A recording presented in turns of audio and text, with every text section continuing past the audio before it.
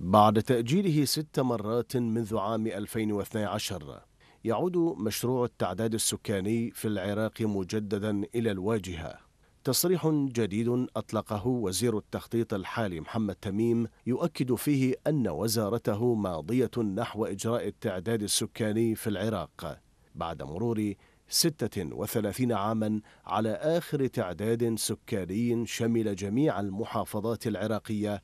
والذي أجري في عام 87 وتسعمائة وألف. أما عن أسباب جدية السلطات الحكومية هذه المرة يقول تميم إن الحكومة وفرت التخصيصات المالية للمشروع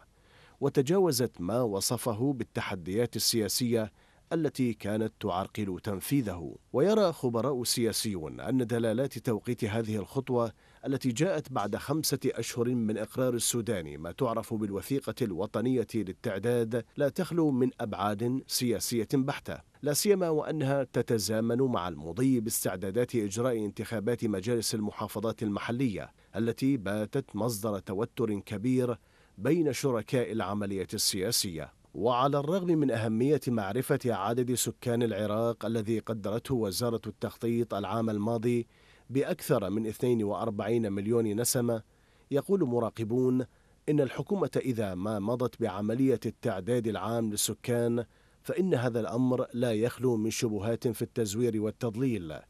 بسبب سياسة التغيير الديمغرافي التي تعرضت لها المدن المنكوبة ووجود مئات الآلاف من النازحين في المخيمات وهو ما سيجعل هذه العملية موضع نقد وعدم اطمئنان.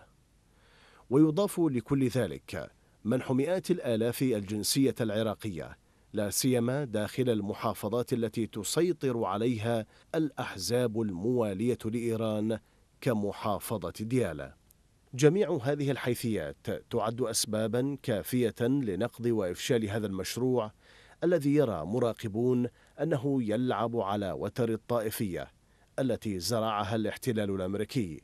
وسيفرض واقعا جديدا على العراقيين بأرقام كتبتها سياسات حكومات ما بعد عام 2003